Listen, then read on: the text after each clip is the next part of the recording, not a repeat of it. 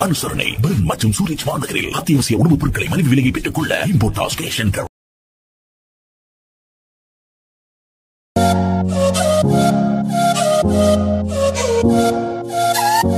வணக்கம் Tamil twenty four channel நேயர்களுக்கு. இன்றைய ஈழத்து கலைஞர்களான ஒரு சந்திப்பு நிகழ்ச்சியில் வந்து இன்னைக்கு சந்திக்க இருக்கும் கலைஞர் வந்து ஒரு மாற்றுத்திறனாளி வேலு குமுதினி அவர்களை தான் நாங்கள் இன்னைக்கு சந்திக்க இருக்கிறோம். வணக்கம். வணக்கம் நேர்களுக்கு. வணக்கம் குமுதினி. என்னென்னு சொன்னால் உங்களை பற்றி சொல்லுங்கள் உங்களோட பேர் என்ன? நீங்கள் எங்கே இருக்கிறீங்க? உங்களை பற்றிய சில விடயங்களை கூறுங்க. என்னுடைய பேர் குமுதினி. நான் கடந்த கால யுத்தத்தில் பாதிக்கப்பட்டு முள்ளந்தண்டுவிடம் பாதிக்கப்பட்டு இருக்கிறேன் இப்பொழுது நான் ஒரு தமிழ் மாற்றுத்திறனாளிகள் அமைப்பின் பணிப்பாளராக இருக்கிறேன். அதாவது டிஃப்ரெண்ட் ஏபிள் தமிழ் அசோசியேஷன் என்ற வடக்கு கிழக்கு பிரதிநிதித்துவப்படுத்தி செயல்பட்டு வர்ற ஒரு மாற்றுத்திறனாளிகள் அமைப்பில் நான் பணிப்பாளராக பணியாற்றி வருகின்றேன். நல்ல விஷயம் கூறியிருக்கிறீங்க குமுதினி. நீங்கள் வந்து இப்போ வந்து ஒரு மாற்றுத்திறனாளி அமைப்பில் வந்து ஒர்க் பண்ணிட்டு இருக்கிறீங்கன்னு சொல்லியிருக்கிறீங்க இந்த கடந்த யுத்தத்துக்கு முன்னாடி வந்து நீங்கள் என்ன செய்துட்டு இருந்த நீங்கள் நான் யுத்தத்துக்கு முதல் படித்து கொண்டிருந்தேன் நான். படித்து கொண்டு இருக்கையில் தான் இப்படி எனக்கு முள்ளந்தண்டு விடம் யுத்தத்தில் தான் காயப்பட்டு எனக்கு முள்ளந்தண்டு விடம் பாதிக்கப்பட்டு இல்லாமலுக்கு இருந்தேன் நான்.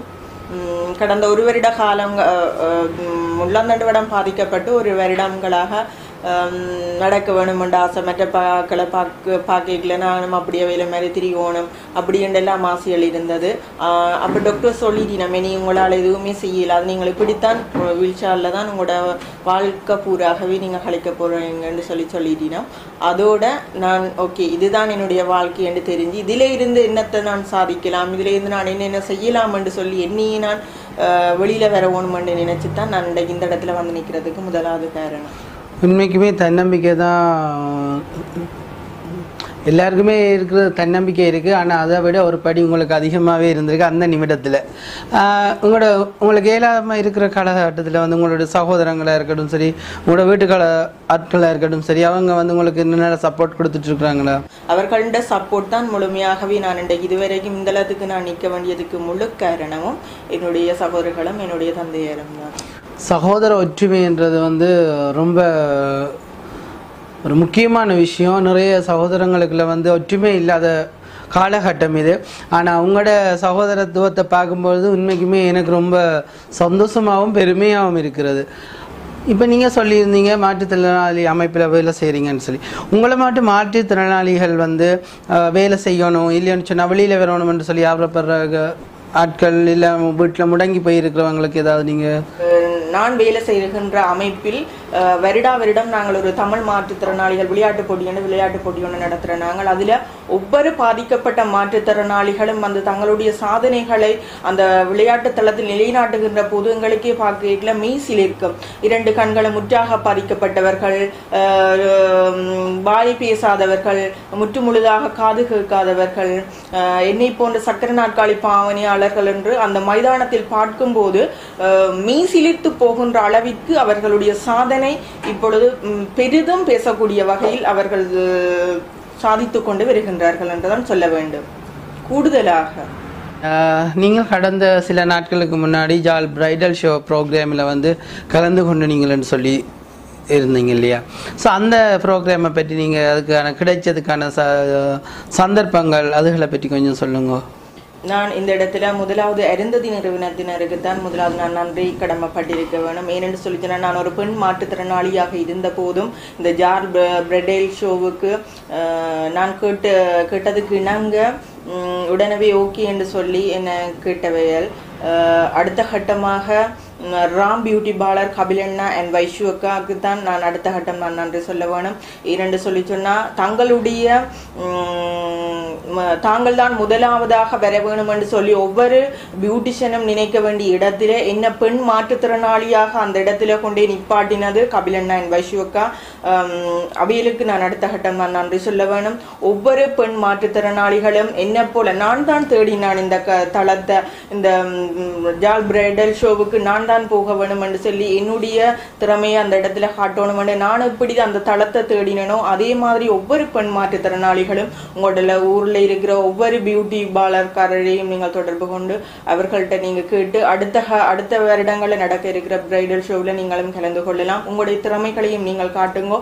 நாங்கள் பெண் மாற்றுத்திறனாளியாக இருந்தாலும் எங்களாலையும் சாதிக்க முடியும் என்றதை நீங்கள் அடுத்த வேலையை காட்ட வேணும். நாங்கள் வீட்டுக்குள்ளே முடங்கக்கூடாது. எங்களால் இதில் இருந்தும் சாதிக்க முடியும் என்றதை நாங்கள் காட்டு வாழ வேணும் என்று கேட்டுக்கொள்கின்றேன் இந்த ஷோவில் வந்து நீங்கள் வந்து ஒரு மாற்றுத்திறனாளி மாதிரி இல்லை.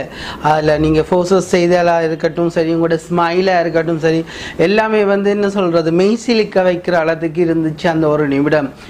அந்த டிராம் பியூட்டி பாலர் கபிலண்ணா ஊடாக இன்னும் இரண்டு பெண் மாற்றுத்திறனாளிகள் என்னை போன்று வந்திருக்கின்றார்கள். அவர்களும் தங்களுடைய சா- திறமைகளை அந்த தளத்தில் காட்ட வேண்டும் என்றதுக்காண்டி ஜால் பிரைடல் ஷோவில் கலந்து கொண்டார்கள். அதாவது அவர்கள் வாய் பேச முடியாதவர்களும் காது காது கீழ்- கீழ்த்தன்மை குறைபாடுடையவர்களாகவும் இருந்தார்கள். அவர்களுடைய அந்த இடத்தில் அந்த மியூசிக் பாட்டு போகைகளில் அவைகளுக்கு கேட்டு அந்த டிராம்போக்கில் போக இயலாது ஆனால் அவைகளுடைய கைதட்டு நளினத்துக்கு அவர்கள் நடந்து அந்த இடத்துல வந்தது. பெரிய மிகவும் பெருமைக்குரிய விஷயமாக நான் நினைக்கிறேன் அந்த இடத்துல. ஆனால் அந்த மாற்றுத்திறனாளிகள் என்று மூன்று பேரை கொண்டு போய் அந்த ராம் பியூட்டி பார்லர் கபிலண்ணா உங்களுக்கு தான் நான் தேங்க்ஸ் சொல்ல வேணும். அந்த இடத்துல நீங்க கூட்டிக் கொண்டு போய் அஹ், எங்களையும் ஒரு அஹ், சாதனையாளர்களாக நிலைநாட்டியதுக்கு உங்களுக்கு கூடான ஓடி நன்றி. சொல்லுவேன் நிச்சயமா. எனக்கு நீங்கள் பேசும்போது மெய் சிலிக்கிறது. ஏனென்று சொன்னால் எவ்வளவோ மாற்றுத்திறனாளிகளை பார்த்துருக்குறோம். ஆனால் அவங்களுக்குள்ள வந்து நிறைய திறமைகள் இருக்கு. அந்த திறமைகளை வந்து வெளியில் கொண்டு வரதுக்கான தளம் வந்து யாருமே அமைச்சு கொடுக்கறது இல்லை அப்படி ஒரு சின்ன ஒரு தளம் அவர்களுக்கு இருக்குமா இருந்து அவர்கள் வந்து எந்த எல்லா துறைகளிலையும் வந்து சாதனை மிக்கவர்களாக இருப்பார்கள். நாங்கள் வெளிநாடுகளிலும் சரி வேறு பிரதேசங்களிலும் சரி காலில்லாத கால் இல்லாத பிள்ளை வந்து அது மாதிரி பண்ணுது கை இல்லாத பிள்ளை அழகான வ- ஓவியம் வரையுது காது கேட்காத பிள்ளை அழகா மியூசிக் டிரெக்ட் பண்ணுது அப்படின்னு ஒவ்வொரு விஷயம் நாம் கேட்டுக்கொண்டிருக்கிறோம்.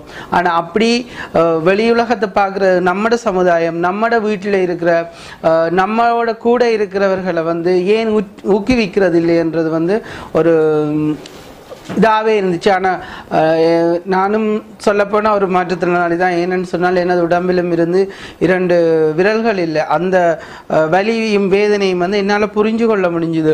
அக்கா கேட்ட உடனே வந்து அந்த ப்ரோக்ராமுக்கு ஓகே நான் உங்களை செய்கிறேன்னு சொல்லி ஒரு ஒரு நொடி பொழுதில் எடுத்த முடிவு. ஆனால் உண்மைக்குமே வந்து நான் இவ்வளவு காலம் சாதிச்சு கொண்டிருக்கிறத விட இந்த நிமிடம் வந்து உண்மைக்குமே நான் பெரிய சாதனை எடுத்திருக்கிறேன் என்று நினைக்கிறேன்.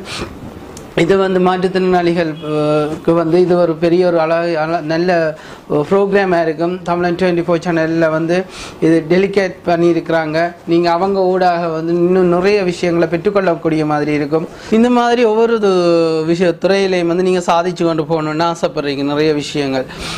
இந்த மாதிரி நீங்கள் சாதிச்சுட்டு போகும்போது நீங்கள் இதோட மட்டும் ஸ்டாப் பண்ணிட்டு வேறு துறையை தேர்ந்தெடுக்க போகிறீங்களா இல்லையான்னு சொன்னால் இந்த மாதிரி பிரைடல் ஷோவாக இருக்கட்டும் நீங்கள் சொன்னீர்கள் இந்த சங்கத்தில் வேலை செய்கிறேன் அந்த மாதிரியாக மற்ற மாற்றுத்திறனாளிகளை ஊக்குவிப்பாக இருக்கட்டும். அது மாதிரி எப்படி நீங்கள் இன்னும் உங்களை வந்து அப்டேட் பண்ணிட்டு போகிற அடுத்த நெக்ஸ்ட் கட்ட பிளானாக இருக்குது உங்களுக்கு? அடுத்த கட்டம் என்னுடைய பிளான் நான் வேலை செய்கிற நிறுவனத்தில் என்ன போல மாற்றுத்திறனாளிகளுக்காகத்தான் நான் இவ்வளோ காலம் வேலை செய்து கொண்டு வரேன் கடந்த நான்கு வருட காலங்களாக.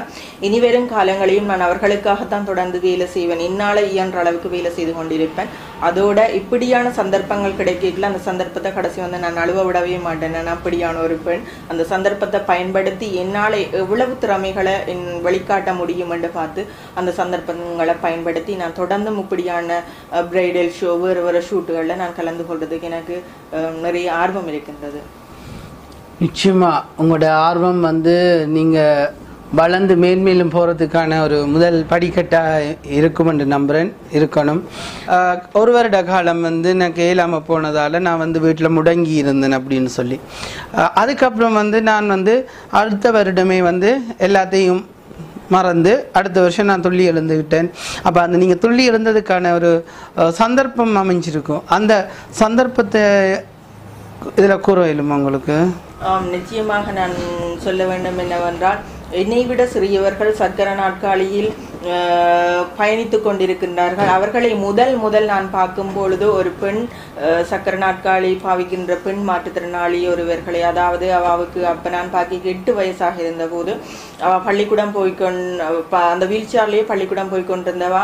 அப்போ நான் பார்த்து யோசிச்சினேன் அவாவாலேயே அந்த சின்ன குழந்தையாலேயே மீண்டு வந்து பள்ளிக்கூடம் போய் அவள் படிக்கிறான்னு சொல்லிச்சுனா ஏன் இந்நாள் அதில் இருந்து மீள இயலாதுன்னு சொல்லி நான் அந்த சிறியவர்களை பா பார்த்து யோசிச்சதுல இருந்து நான் அதில் இருந்து மீண்டு வந்தேன். நான் அதுக்கு பிறகுதான் வவுனியாவில் இருக்கிற பம்பைமடு வைத்தியசாலையில் அதாவது வெளிநாட்டில் இருந்து வந்த எம்எஸ்எஃப் கொலன்காரர் ரீஹாப்லேஷன் தந்தவ அந்த ரீஹாப்லேஷன்ல தான் எங்களுடைய வேலைகளை நாங்கள் அன்றாட தேவைகளை எப்படி செய்ய வேண்டும் என்று அதாவது நாங்கள் ட்ரெஸ் சேஞ்ச் பண்ணுறது பெட்ல இருந்து வீல் சேருக்கு ட்ரான்ஸ்ஃபர் பண்ணுறது வீல் சேரில் இருந்து கொமட்டுக்கு எப்படி ட்ரான்ஸ்ஃபர் பண்ணுறதுன்றெல்லாம் அப்போ எங்களை பழக்கினோம். அதில் தான் அந்த சிறுவர்களை நான் சந்திக்க வேண்டிய ஒரு சந்தர்ப்பம் வந்தது. அதில் இருந்து தான் என்னுடைய நான் எப்படி வெளியில் வர வேணும் என்று சொல்லி நான் பழகி அங்கே தான் அந்த பாஸ்கெட் பால் வீல் சேர்ல எப்படி பாஸ்கெட் பால் விளையாடணும்ன்றதையும் அவர்கள் தான் அங்கதான் நான் பழகினான்.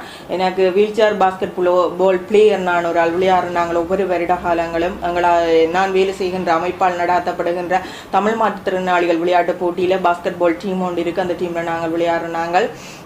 கேர்ள்ஸுக்கண்ட ஒரு டீம் ஒன்று நான் வச்சிருக்கிறேன் அந்த டீமில் விளையாடுறது. அப்படியான ஒரு சந்தர்ப்பத்தில் தான் என்னாலையும் சாதிக்கல சாதிக்கலாம் என்ற சில சில சிறு சிறு சாதனைகளை நான் செய்து கொண்டு வருகின்றேன். அதுல இருந்து தான் நான் வெளியில வர வேண்டிய ஒரு சந்தர்ப்பமும் அதுதான் எனக்கு. இது போன்று இன்னும் பல கலைஞர்களுடன் இன்னும் நிறைய சுவாரஸ்யங்களுடன் உங்களை சந்திக்கும் வரை உங்களிடமிருந்து விடைபெற்றுக் கொள்ளும் நாங்கள் குமுதினி. உங்கள் அன்புடன் கபில். நன்றி. நன்றி.